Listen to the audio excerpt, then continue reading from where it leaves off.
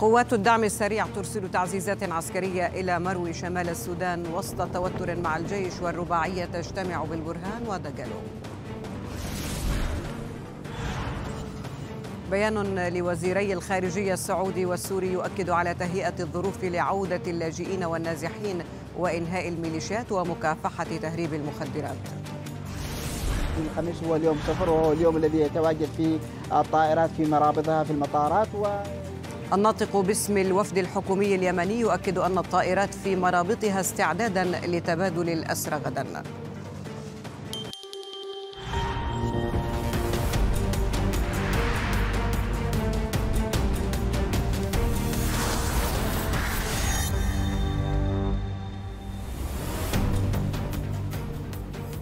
أهلا ومرحبا بكم مشاهدينا إلى هذه الساعة الإخبارية من الحدث. أفاد مراسل العربية والحدث بدخول 52 عربه تابعة لقوات الدعم السريع إلى منطقة مروي شمال العاصمة السودانية الخرطوم.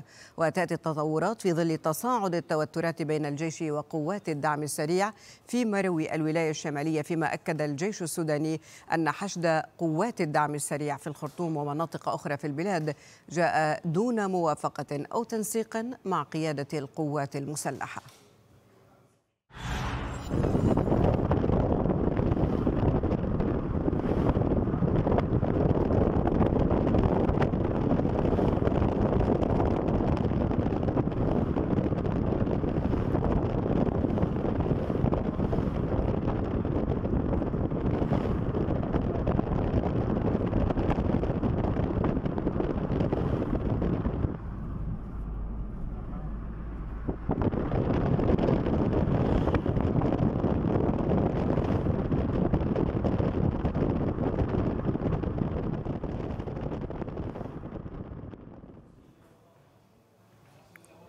أعلنت حركات سودانية مسلحة بينها الحركة الشعبية جناح مالك عقار وحركة العدل والمساواة وحركة جيش تحرير السودان أعلنوا عن وجود تجاوب للمساعي الحميدة بين قيادة القوات المسلحة السودانية وقوات الدعم السريع لنزع فتيل الأزمة الأمنية التي تهدد الأمن في البلاد.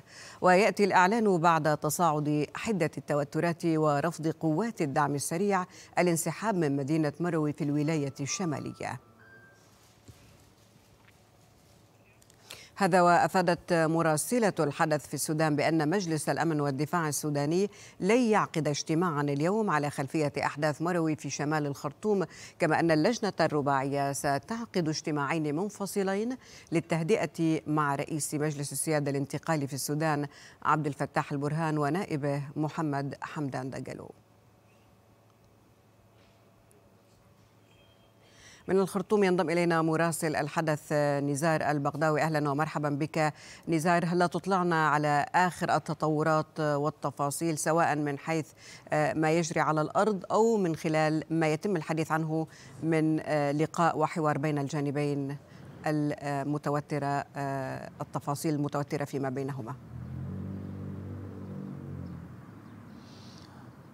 نعم يعني مرت ساعات كثيرة على ما حدث هنالك في الولاية الشمالية في منطقة مروي ومرت أيضا ساعات على بيان الجيش السوداني الذي أزال اللبس حول ما يدور في تلك المنطقة من شمال السودان وأكد بأن ما تم من قبل قوات الدعم السريع جاء من دون أي تنسيق وأي ترتيب بينها وبين الوحدات والقيادة هنا في العاصمة السودانية الخرطوم.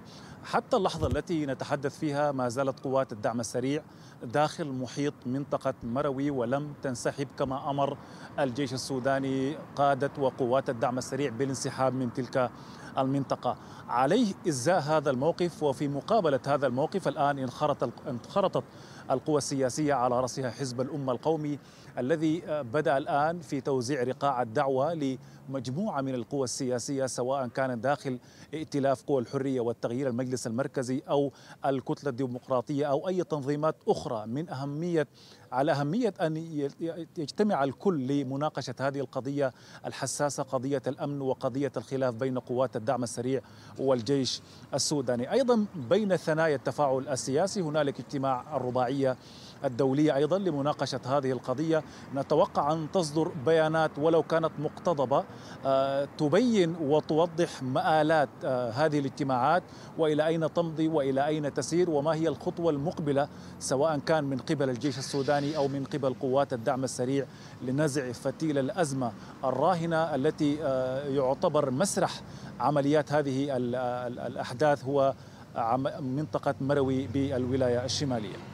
طيب إذا إذا كانت الحركات السودانية المسلحة أعلنت عن أن هناك نوع ربما من بوادر أو إعلانات ربما مواقف تشي بعودة الأمور إلى تهدئة أكثر. إذا صح التعبير. هل هذا الكلام ينافي ما تحدثت عنه الآن بأن الدعم السريع ما زال متمسكا ومركزا بالمناطق التي وجد فيها ولم يستجب لمطالب القوات المسلحة؟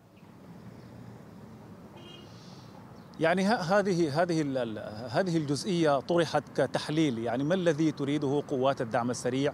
عندما تصر على البقاء في تلك المنطقة التي طالبت القوات المسلحة السودانية قادة وقوات الدعم السريع بالانسحاب منها. منهم من يتحدث بأن الدعم السريع الآن يحاول أن يطرح موقفا تفاوضيا يتعلق بوضعيته في العملية السياسية خاصة ونحن نتحدث عن قضية دمج الدعم السريع داخل قوات القوات المسلحة السودانية. في مقابل أيضا هذا الموقف الذي يصفه البعض بالمتعنت من قبل قوات الدعم السريع هنالك ينشط قادة الحركات المسلحة حركة العدل والمساواة والحركة الشعبية شمال وحركة جيش تحرير السودان في نزع فتيل هذه الأزمة. كل هذه الجهود هي جهود تحاول أن تسهل وتحاول أن أن تلطف الأجواء وتحاول أن تخلق أرضية مواتية لبدء حوار سوداني يعيد المشهد السوداني إلى إلى طبيعة إلى طبيعته بعيدا عن هذه الأجواء المشحونة بعد احتدام الخلاف بين الجيش وبين قوات الدعم السريع. نعم من الخرطوم كنت معنا مراسل الحدث نزار البقداوي شكرا جزيلا لك. الآن تقاطع القريه ثلاثة. بعد عبر القريه ثلاثة. هو متحرك على مريو كريم.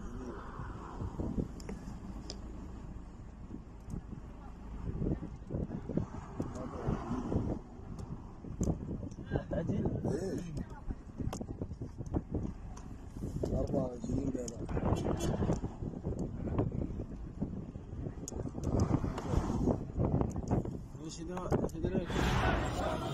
Teşekkürler, teşekkürler.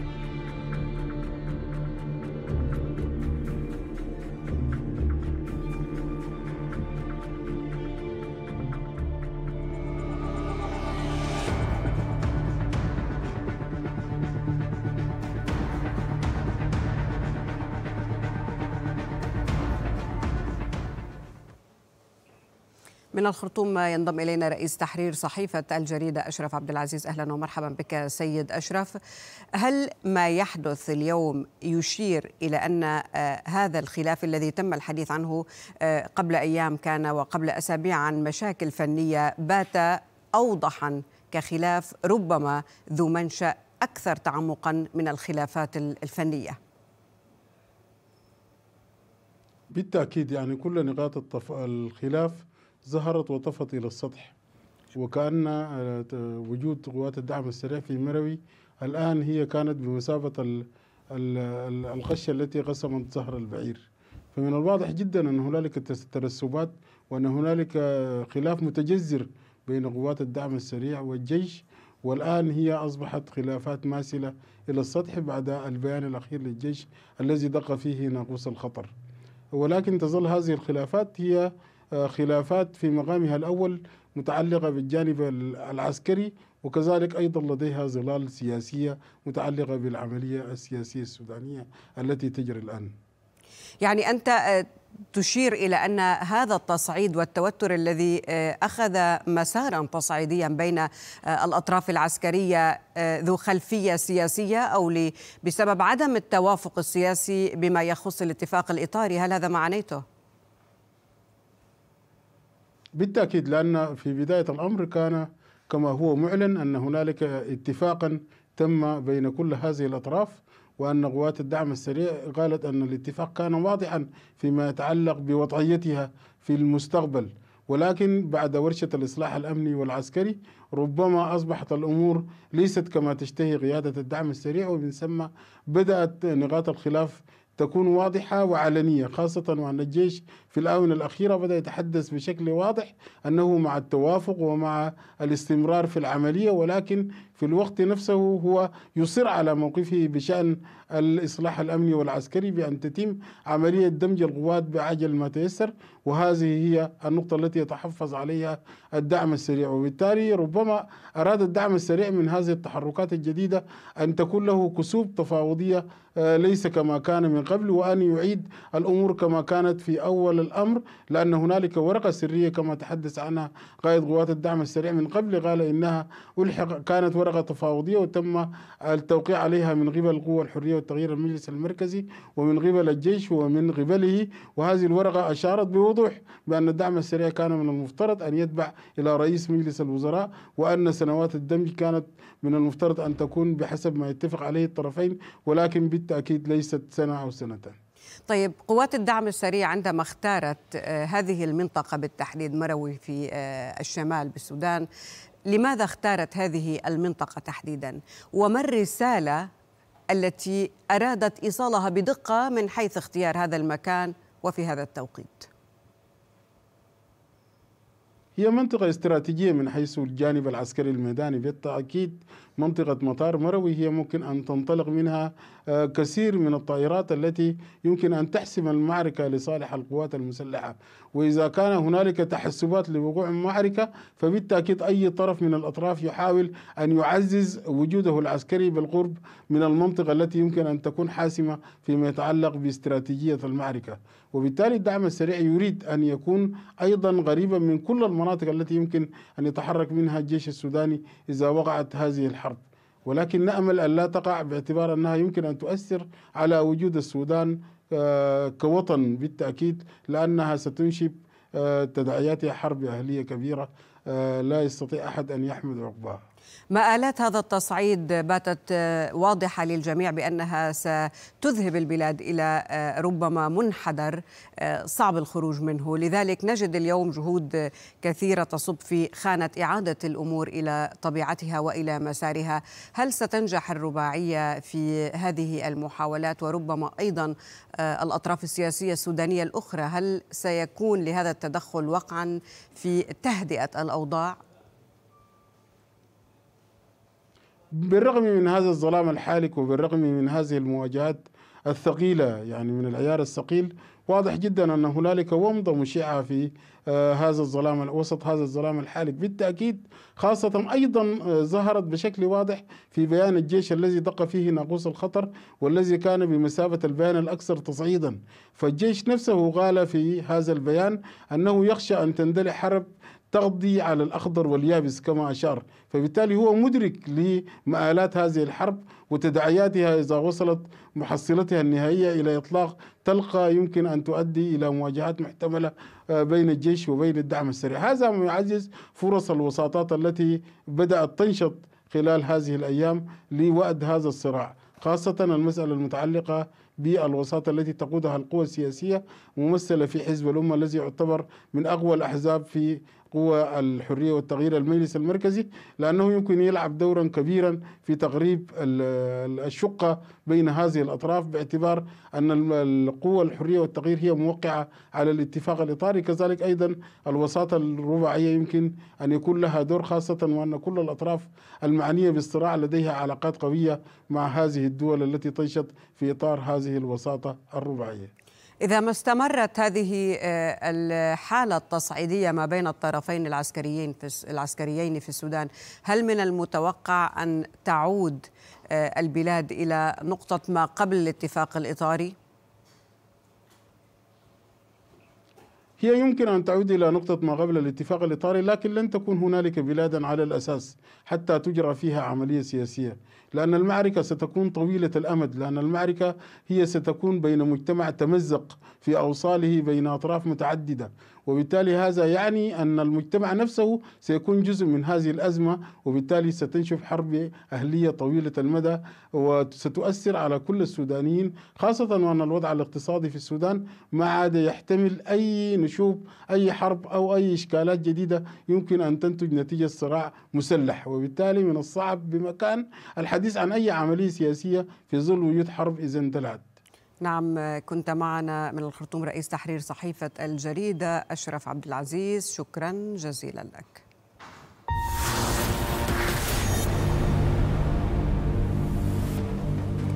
نشرتنا مستمرة وفيها بعد الفاصل. أعمال عنف إثر تظاهرات ضد قانون التقاعد في فرنسا.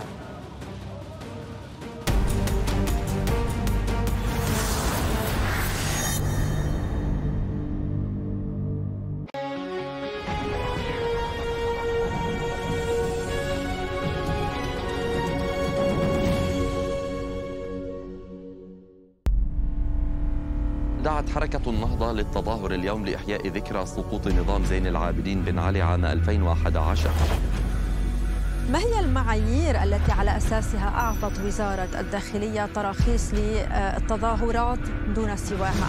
قوات الأمن ستكون موجودة لأن هناك أطراف غايتها بث الفوضى غايتها افتعال الأزمات هل نتحدث عن شكل مختلف لهذه التحركات؟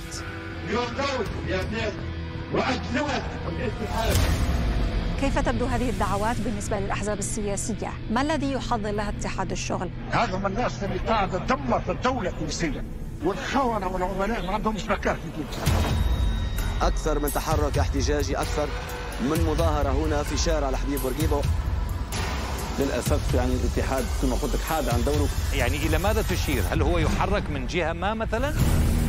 حالة من الاحتقان احتقان دون قدرة على الحسم. انهزمنا من القصف وانهزمنا من الطيران والحجينا هين.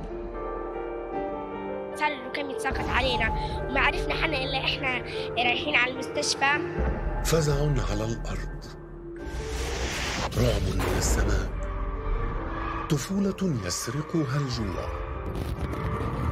أمل قتلته زخات رصاص. نساء ورجال عجائز وأطفال فرون من الجحيم باحثون عن المجهول.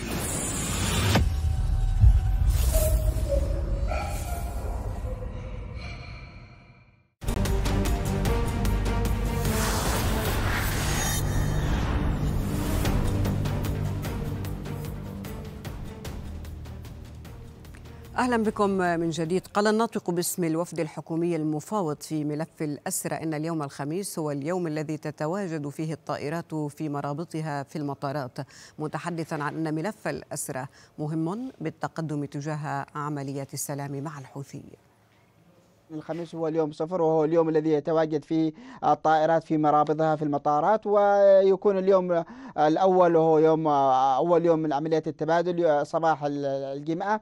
بعد ذلك يكون عمليات التبادل قد انطلقت بشكلها الرسمي ونحن أيضا وافقنا من جهتنا لأنه العملية هي ليست عملية تعجيل. كما أعلنت الصليب الأحمر في السابق أن هنالك تمديد كان في السابق العملية كان المفروض أن تجري في يوم يعني 10 أن يكون يوم 10 هو يوم صفر ثم بعد ذلك تأجلت إلى أن ثلاثة أيام كما أعلنا سابقا وهذا ثلاثة أيام يعني في في في في المدة يعني يوم 13 هو يوم صفر يوم 14 هو يوم عملية التبادل. والعملية تمضي كما هي الترتيبات. هنالك تفاؤل كبير وحرص من قبل طبعا الوفد الحكومي على نجاح هذه العملية بأي شكل كان. وهنالك متابعة واهتمام كبير من قبل القيادة السياسية ممثلة طبعا فخامة رئيس المجلس القيادي الرئاسي الدكتور رشاد العليمي وهو يعني وأعضاء المجلس وأيضا رئيس الحكومة. هذا الملف الإنساني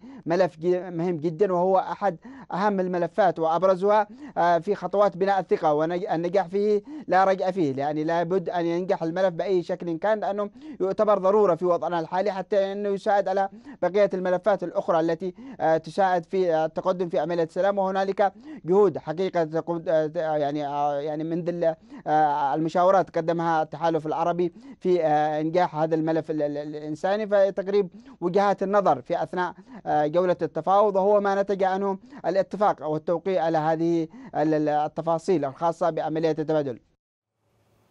وبموجب الاتفاق سيفرج الحوثيون عن 181 أسيرا بينهم سعوديون وسودانيون مقابل 706 معتقلين لهم لدى الحكومة اليمنية التي أكدت أن هذه العملية ستتبع بعمليات أخرى قريبا حتى يتم إطلاق سراح جميع المحتجزين والمختطفين على قاعدة الكل مقابل الكل.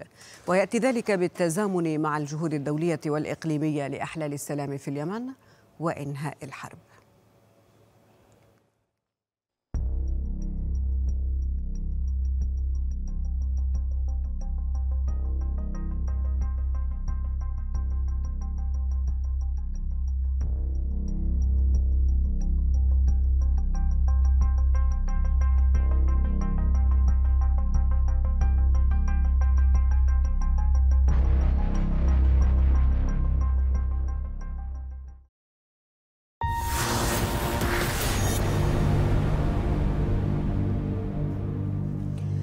تحاول السلطات الفرنسية وقف أعمال العنف من المحتجين في ظل احتجاجات متصاعدة الحدة اعتراضا على قانون رفع سن التقاعد.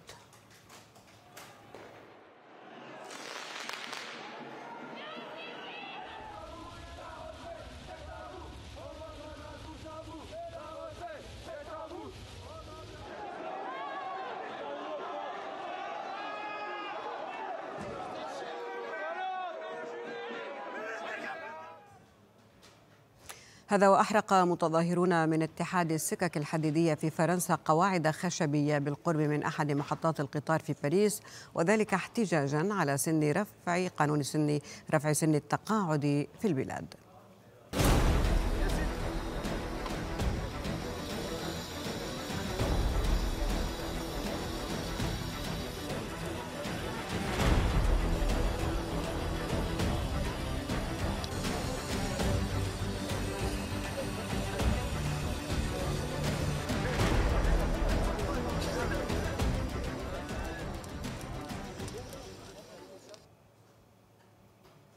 من باريس ينضم إلينا مراسل الحدث فادي الدهوك. أهلا ومرحبا بك فادي. فادي هل تطلعنا على ما يجري الآن على الأرض؟ كيف هي طبيعة التظاهرات وما حدتها؟ أهلا رشا هناك جزء كبير من المتظاهرين وصلوا إلى هذه النقطة ساحة البستي حيث أقف الآن وهي نقطة التظاهر الأخيرة في المسار الذي حدد لهذه التظاهرة. إن كنتم تتمكنون من رؤية المشهد على يسار هناك موكب ضخم جدا ما يزال يصل إلى هذه المنطقة لكن أيضا هناك اشتباكات تدور في عدد من الشوارع بسبب قيام الشرطة الفرنسية بمحاولة إعاقة أو تقسيم الموكب إلى مواكب ليسهل السيطرة السيطرة عليها ولكي يجنبوا الاشتباكات عمليات التخريب. طبعا كان هناك مواجهات وأطلاق للغاز المسيل للدموع حتى هنا في هذه الساحة حيث كنا نقف قبل دقائق من الآن. لكن الأمور تعود إلى الهدوء شيئا فشيئا والمتظاهرون يصلون إلى هذه الساحة. كما ترون هذا موكب ضخم جدا يتقدم التظاهرة ويصل إلى نقطتها النهائية في ساحة البستيه رشا. نعم ما هي طبيعة المتظاهرين؟ يعني من نظمها؟ هل هي تشمل قطاعات عدة شرائح عدة أم أنها تشتمل على طبقة دون أخرى أو شريحة دون أخرى. التظاهرات تشمل جميع الفئات العمرية وأيضا بالإضافة إلى النقابات هناك أشخاص يشاركون في هذه التظاهرة وهم لا ينتمون لا إلى أحزاب يسارية معارضة لهذا القانون قانون رفع سن التقاعد إلى 64 عاما ولا إلى النقابات كذلك هناك عدد كبير من هؤلاء يشاركون في هذه التظاهرة. وهنا النقطة الأصعب ربما على الحكومة أنها إذا كانت قد إذا كان بإمكانها أن تتفاوض مع النقابات إلا أن المسألة مع الأشخاص الذين لا ينتمون إلى النقابات ولا إلى الأحزاب السياسية هذه المسألة صعبة جدا بالنسبة للحكومة لكي تتفاوض معهم. أيضا هناك شريحة مهمة جدا من الطلاب والشبان الذين يشاركون في هذه التظاهرة وهم ونسبتهم كبيرة جدا نراهم في هذه التظاهرة وفي كل التظاهرات التي كانت تخرج سابقا.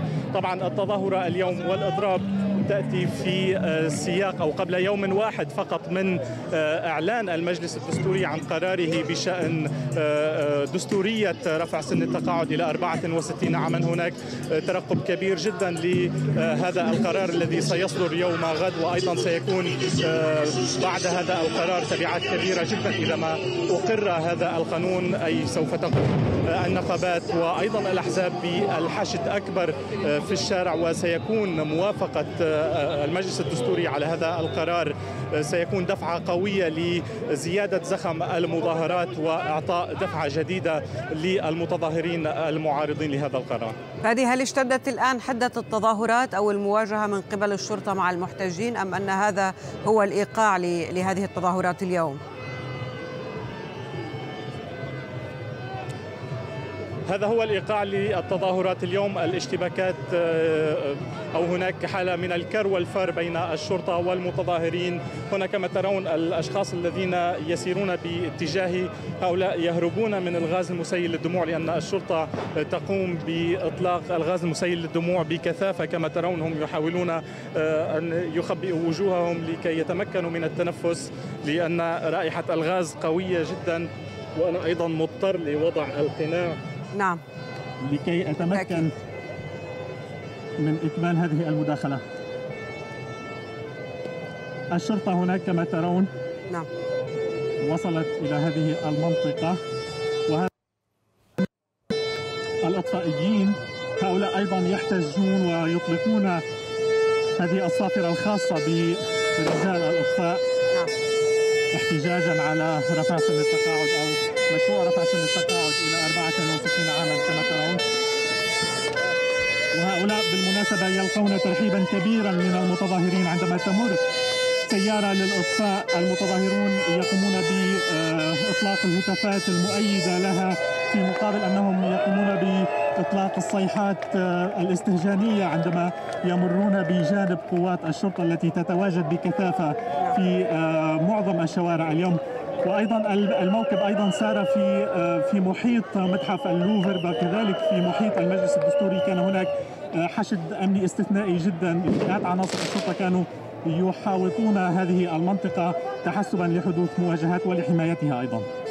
نعم فادي كان هناك حديث عن متظاهرون من عن متظاهرين من اتحاد السكك الحديدية أشعلوا النيران بالقرب من أحد محطات القطار، هل شهدت قطاعات أخرى هكذا نوع من الاحتجاجات من قبل موظفيها؟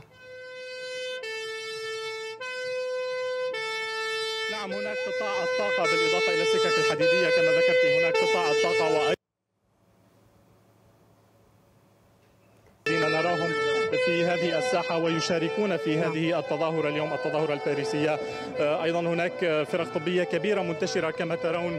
على سبيل المثال هناك هؤلاء يقدمون المساعدة للمتظاهرين الذين يقومون بإحراق جراء استنشاق للدموع. نعم. هؤلاء منتشرين بكثافة في معظم الشوارع لمساعدة المتظاهرين. أيضا المواكب تأتي من كل الاتجاهات التي تؤدي إلى هذه الساحه جدا في قلب العاصمة باريس وما تزال.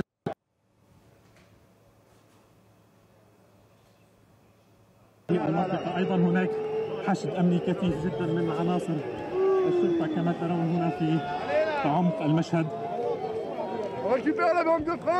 فهذه هل أعداد الشرطة اليوم والتجهيزات التي قامت السلطات الحكومية يعني اتخاذها أكثر من المرات السابقة كون القرار يكون يوم غد؟ الحشد الأمني هو ذاته الذي آه، يحرص وزير الداخلية على التصريح به أو على الاقل هذا ما يقوله لوسائل الإعلام وما تنشره قيادة شرطة باريس. هناك 11500 شرطي منتشرين في الشوارع في العاصمة وحدها. هناك 4000 و200 من عص... من 200 من عناصر الشرطة لتأمين المناطق المهمة خصوصا المراكز الحكومية بالإضافة إلى تأمين موكب التظاهر الضخم اليوم هناك آه، انتشار أمني كثيف جدا في معظم الشوارع والمداخل آه، على طول خط سير التظاهرة. لمحاولة تأمين هذه المواكب من قبل الشرطة لكي يتم تجنب حدوث مواجهات لكن على على العموم كان هناك مواجهات وحصلت حالات اعتقال حتى الآن بحسب ما أعلنت وزارة الداخلية. هناك 15 اعتقالا حتى الساعة إلى الآن. نعم. طيب فادي آه، يعني أنت ذكرت في بداية حديثك بأنه هذه هي آه، ربما المكان الأخير أو النقطة الأخيرة آه، لهذه التظاهرة. هل من بعدها سيتم يعني إعلان إنهائها لهذا اليوم؟ هل هناك حديث عن تظاهرات يوم غد أو التخطيط لهكذا نوع من الحراك الشعبي؟ هناك شقين من المتظاهرين المتظاهرون الذين يتبعون للنقابات أو يقومون بتلبية دعوة النقابات والأحزاب اليسارية المعارضة. هؤلاء هم متواجدون اليوم وهؤلاء ينتظرون قرارات تصدر عن النقابات. هناك اجتماع سيكون بعد آه، هذه التظاهرة اليوم مساء للإعلان عن التحركات المقبلة. ولكن أيضا هناك التحركات التي تخص الطلاب وشريحه الشباب. هؤلاء لا يلتزمون بقرارات النقابات والأحزاب اليسارية هؤلاء يقومون بتنظيم آه، آه، تظاهراتهم من تلقاء أنفسهم من دون آه، التنسيق مع نعم على ما يبدو بأن هناك سوء في الاتصال. وتدخل. نعم. نعم شكرا لك من باريس كنت معنا مراسل الحدث فادي دهوك. شكرا لك فادي.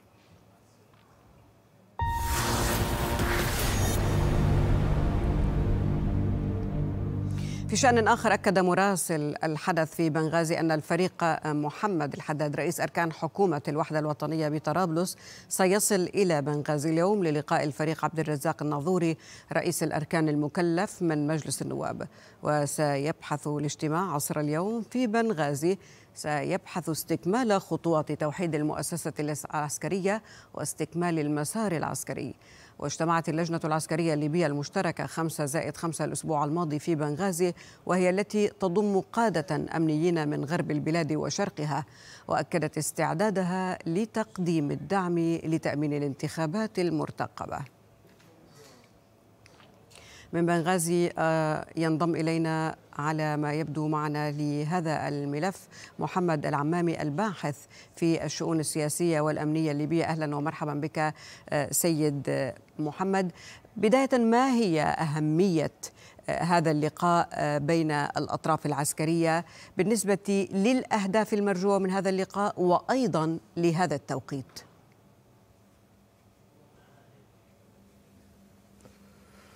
مساء الخير يا سيدتي لك وللسادة المشاهدين والمتابعين. يا سيدتي هذا اللقاء نعول عليه كثيرا لأنني من الذين يرون أنه لن آه، تقوم دولة آه، واحدة موحدة آمنة آه، تؤتمن على مواطنيها وتحافظ عليهم إلا بقيام جيش واحد موحد تحت سلطة واحدة. هذه السلطة ينبغي أن تكون متوافق عليها من أقاليم ليبيا كافة. إن هذا الاجتماع نجاحه هو بالتأكيد نجاح قيام الدولة. إن لم يتحقق ذلك للأسف الشديد سوف يستمر هذا المسلسل المرعب آه، ما بين ال- ال- ال- الأشقاء ما بين الإخوة ما بين المناطق ما بين الولايات ما بين آه، آه، آه، آه، الفئات المنقسمة. كل يرى الحل يكمن في اتجاه معين وفي فكر معين. لقيام دولة ديمقراطية في كل مكان في الدنيا ينبغي أن يكون هناك جيش ولنا عبرة في الثورات السابقة كلها. بدءا من الثورة الفرنسية إلى الإنجليزية إلى إلى البلشفية. كلها لم تنتهي تماما ولم تقوم دولة إلا سيد محمد. العمامي. أعتذر. مستقبل. شكرا على المتابعة. نلتقي على رأس الساعة إلى اللقاء.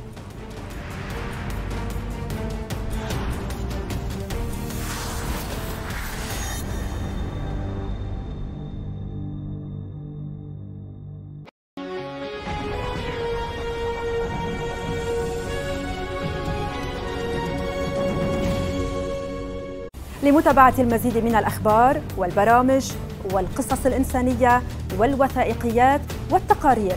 لا تنسوا الاشتراك بقناتنا على يوتيوب الضغط على زر الإعجاب وتفعيل جرس التنبيهات.